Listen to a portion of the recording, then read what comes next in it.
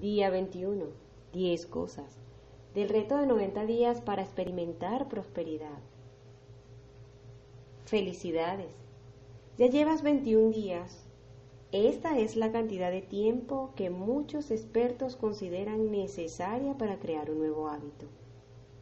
Esto, por supuesto, significa que en los últimos 21 días has logrado crear el hábito de pensar más prósperamente. Así es que hoy comenzaremos con un nuevo hábito, el hábito del agradecimiento. Aunque hemos estado girando alrededor del agradecimiento los últimos 21 días, hoy vamos a intentar enfocarnos en ser agradecidos, porque entre más nos enfoquemos en cuán agradecidos estamos, más encontramos para estar agradecidos. Así es que hoy quiero que hagas una lista de 10 cosas por las cuales estás increíblemente agradecido. Cosas que creas que han hecho una gran diferencia en tu vida. Cosas que te hacen sentir felicidad, paz y amor. Cosas que te convencen que vale la pena vivir esta vida. Cosas que a diario te aseguran que la bondad está viva y sana en el universo y que todo está como debe estar. Una vez que hayas hecho tu lista, colócala con tu plan de negocio para la prosperidad y léela a diario.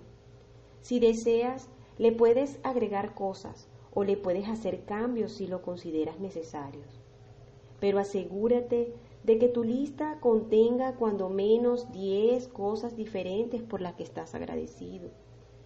Estas 10 bendiciones leídas a diario por el resto del experimento de la prosperidad, serán las piedras angulares sobre las que se construirá tu vida próspera.